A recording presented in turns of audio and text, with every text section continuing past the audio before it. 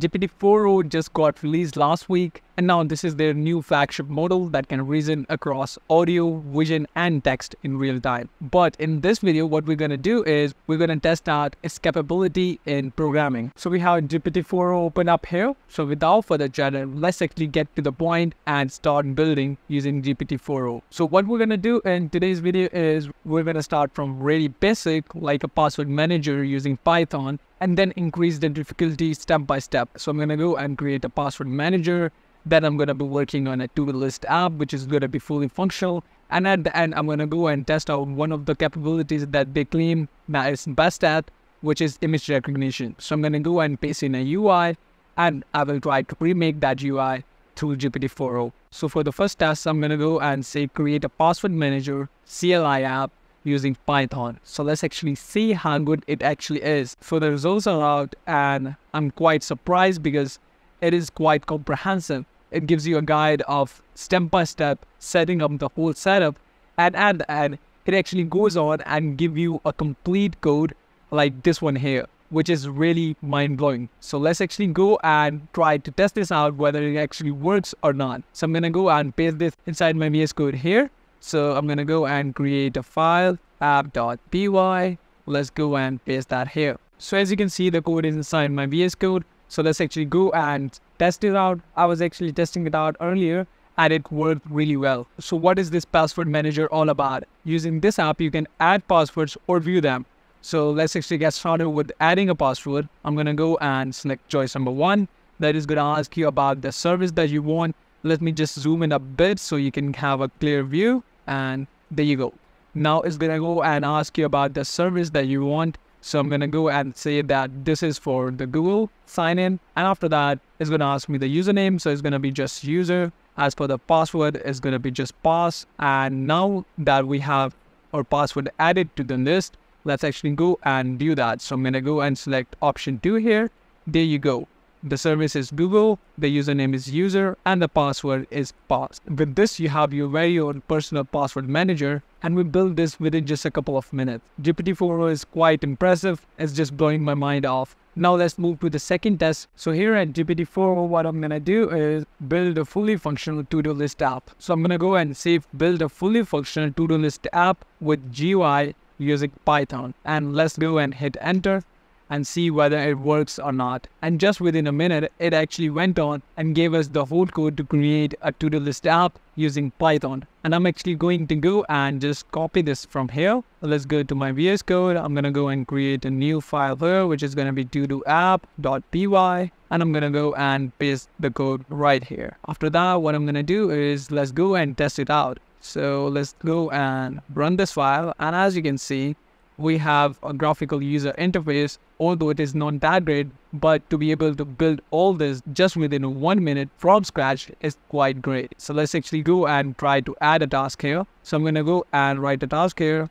like I want to do coding. So that's a task for the day. So add the task is going to go up there. And let's say I want to add another task here, which is going to be um, maybe cooking. Let's go and add that task here. But what if I want to delete a task? But what if I want to delete a task? All I have to do is go and select one of these tasks here and hit delete the task and it just vanishes. And you even have the capability to save this task, which means next time you open up your to-do list app, these tasks will be available right here. Let's actually go and add a few tasks and then save them and test out whether it actually saves those or they vanish when we restart the app. So I'm going to go and say I have to go with football as well. And that's it. Let's go and save the task here. Let's close this app.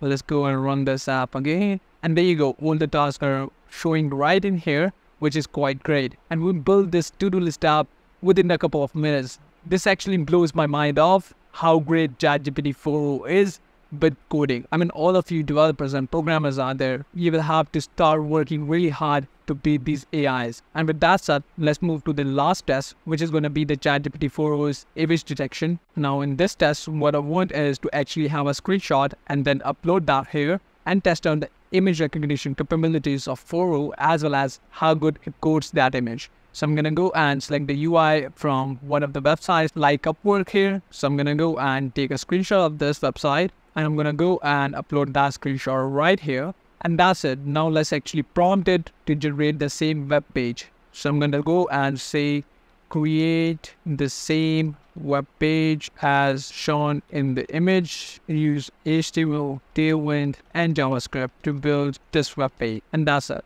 With that, let's go and hit enter and check whether it can actually work on images and generate the similar code for you or not. So let's go and see how it works. And again, within a minute, it gave all the steps and the code for us. So I'm going to go and copy this code.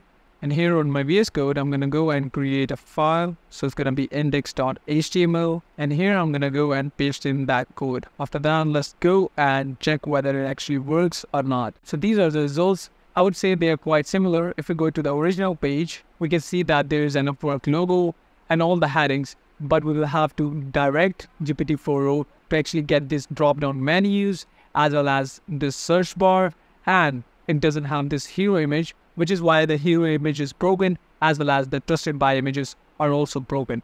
But it actually recognizes the text and it put the right text inside that prototype. So let's actually go and examine that. And here you can see that the hero image is broken, but this text is similar to the text that we just saw on the original website, as well as all the member items here are the carbon copy of the original website which is quite good. And it even went on and mimicked the color scheme as well. And as I've been testing out different AI pair programming tools as well as different models which are good at coding, I would rate this 8.5 out of 10 because it really did a lot with just a really simple prompt and an image. And I think GPT-4o with this potential is going to be one of the best in AI pair programming or AI coding. I'm really looking forward to the evolution of GPT-4o and how it's going to affect the programming industries. So that wraps up our video for today. We went on and explored how good GPT-4o is and we went on and tested it in multiple scenarios from basic password manager tool to a to-do list app and, and we went on and explored how good it actually is when it comes to image recognition. And it did a pretty good job at doing that. If you found this video insightful hit the like button. Share your thoughts or experiences in the comments below. Ring the notification bell to never miss out on our daily updates. Thanks for watching and we'll see you in our next video where we'll continue to cover your skills with the latest tech. Till then stay curious and keep exploring